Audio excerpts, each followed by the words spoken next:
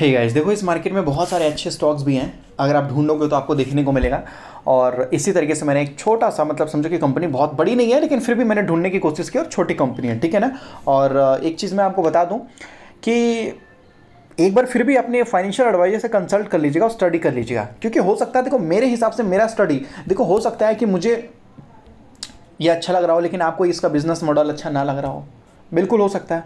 है कि नहीं और ये भी हो सकता है कि इस बिज़नेस का जो फंडामेंटल है, ये आपको मज़बूत ना लगे, लेकिन मुझे देखने में मज़बूत लगेगा। तो एक बार मैं आपको बोलूँगा कि खुद का भी स्टडी करना ज़रूरी है, क्योंकि पैसा आपका लगेगा ना तो स्टडी भी आपका होना चाहिए। बिल्कुल।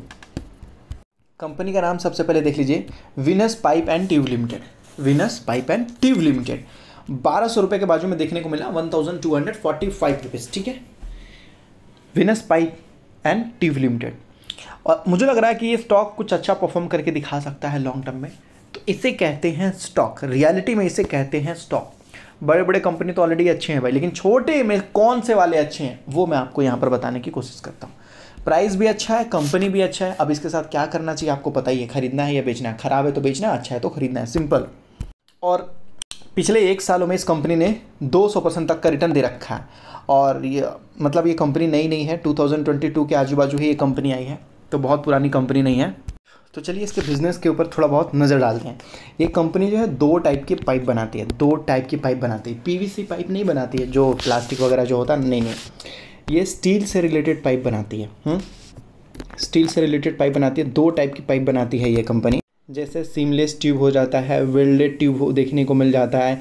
तो बहुत सारे ऐसे कैटेगरी होते हैं। पाँच ऐसे कैटेगरी होते हैं, जिनके अंदर ये अपना जो है प्रोडक्ट बनाने की कोशिश करती है। तो ये पाँचों प्रोडक्ट हैं इनके पास, देख सकते हो। जैसे कि बॉक्स पाइप हो जाते हैं वेल्डेड पाइप हो देखने को मिल जाते हैं, और भी बहुत सारे जैसे कि हीट एक्सचेंजर ट्यूब हो जाते हैं, वो सारे हैं। तो यहाँ पर आप देख लीजिए, ये सारे इनके प्रोडक्ट हैं, देख लीजिए। ठीक है? तो ये सारी चीज़ों का डिमांड आजकल के डेट में बहुत ज़्यादा है। कंस्ट्रक्शन एरिया में या फिर और कहीं में अगर आप देखो तो ये सारी चीज़ों का डिमांड बहुत ज़्यादा है।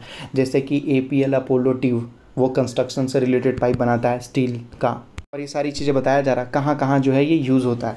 सही है? जैसे कि मतलब हीट एक्सचेंजर में यूज़ किया जाता है केमिकल में पावर में एनर्जी में, और मतलब फार्मास्यूटिकल में देखने को मिल जाएगा तो ये सारी चीज़ें में प्रोसेस इंडस्ट्री में, सही है? न्यूक्लियर थर्मल पावर में, ये सारी चीज़ों में, ये सारे पाइप का जो है इस्तेमाल किया जाता है। देखिए, यहाँ पर आपको बताया जा रहा है, ठीक है?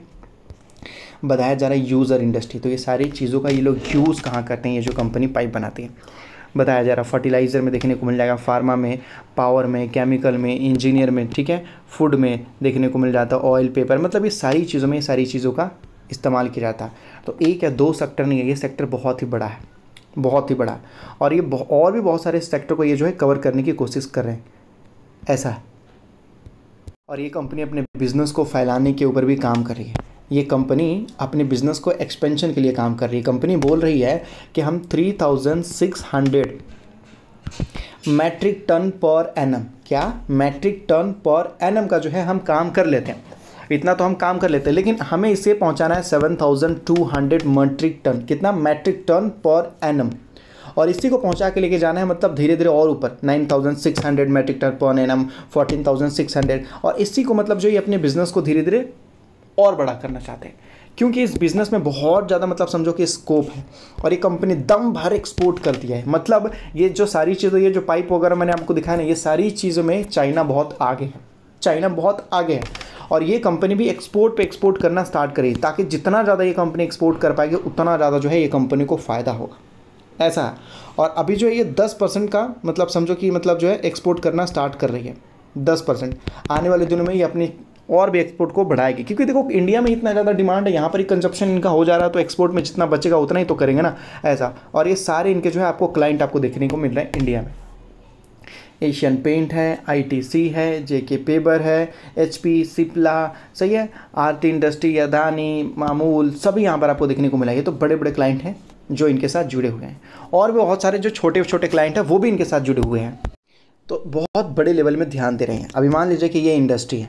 और ये पानी है, इनको पाइप लेके जा रहा है। तो भाई, इनको एक ऐसा पाइप चाहिए ना जो बहुत स्ट्रॉन्ग हो, बहुत पावरफुल हो और मतलब मतलब लंबे समय तक टिकाओ तो ये सारी चीज़ों का ये लोग इस्तेमाल करते हैं, ऐसा। और 58 से भी ज़्यादा क्लाइंट है इनके पास 58 से भी ज़्यादा क्लाइंट इनके पास इनके पास है, जो कि अभी के हिसाब से आपको बताया जा रहा। और एक केमिकल के लिए भी कंपनी काम कर लेती है। केमिकल और भी बहुत सारी चीज़ें हैं जिनके लिए कंपनी काम करती है। और चाइना जो है चाइना जो है लार्जेस्ट एक्सपोर्टर है भाई। चाइना हर चीज़ में आ गया है, मानो या ना मानो हर चीज़ में आ गए लेकिन अब भारत भी किसी चीज़ से पीछे नहीं रह रहा, ऐसा है।